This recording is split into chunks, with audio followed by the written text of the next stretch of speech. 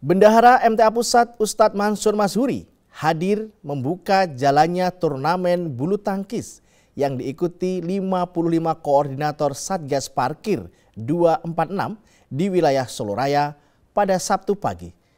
Ustadz Mansur berharap silaturahim bulu tangkis tidak sekedar menjadi ajang olahraga saja, melainkan dapat menjadi sarana untuk mengemban misi dakwah.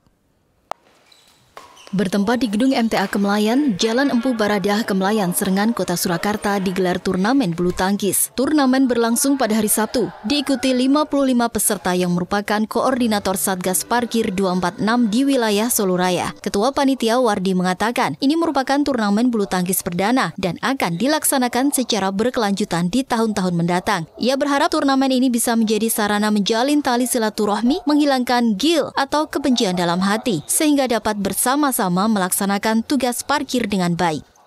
Ini semuanya tujuannya adalah untuk menjalin silaturahmi agar nanti pada pada tugas-tugas mendatang semuanya berjalan dengan baik dan di antara kita juga menghilangkan gil-gil dan ganjalan yang tidak ada agar dengan silaturahmi bulu tangkis ini karena bulu tangkis ini memang memerlukan ego, nafsu, pikiran itu memang tertuah di satu. Ketika dengan latihan ini mudah-mudahan kita bisa meredam ego kita, meredam gengsi kita sehingga kita kebersamaan bisa bersama-sama.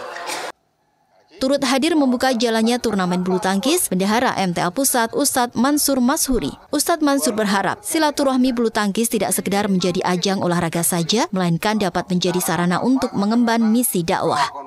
Kami mengharap bahwa dengan ada silaturahmi ini kita tidak meninggalkan apa istilahnya dakwah kita. Maksud saya bahwa di pundak kita itu ada misi dakwah. Sehingga bagaimanapun juga dalam permainan, dalam bulu tangkis pun harus ada misi dakwahnya. Dari Surakarta, Jawa Tengah, Arif Nur Rahman melaporkan.